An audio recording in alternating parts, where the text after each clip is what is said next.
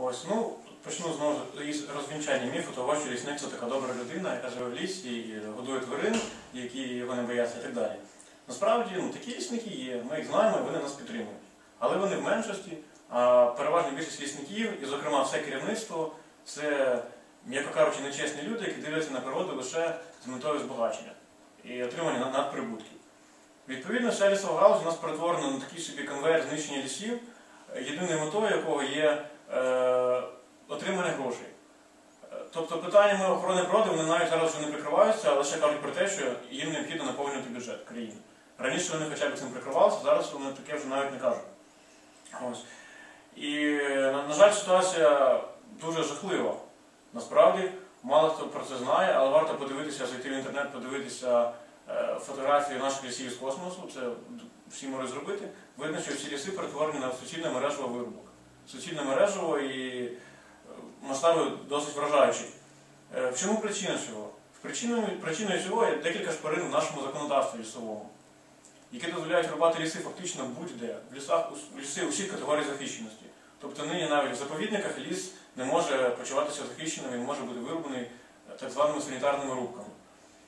І часто нам кажуть, що є певні заборони рубки лісу, певні обмеження, насправді це не зовсім так. Я наведу декілька прикладів. От у мене є фотографії, скажімо, карпатських вирубок.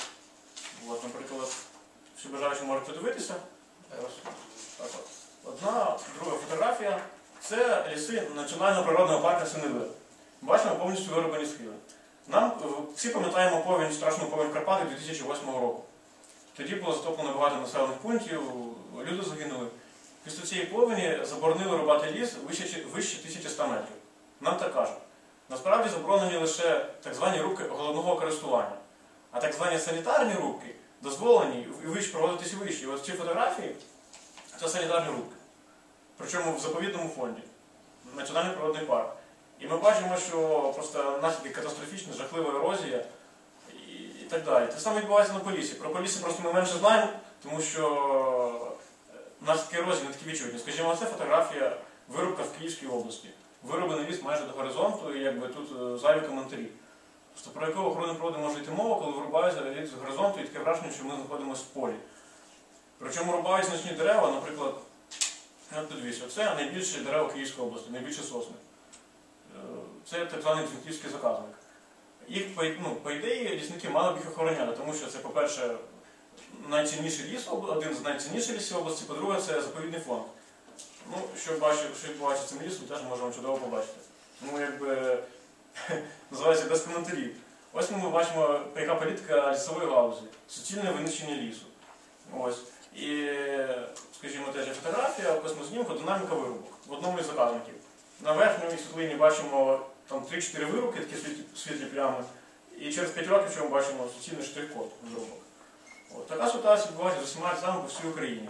І повторюю, навіть заповідний фонд не є гарантією того, що ліси будуть врятовані.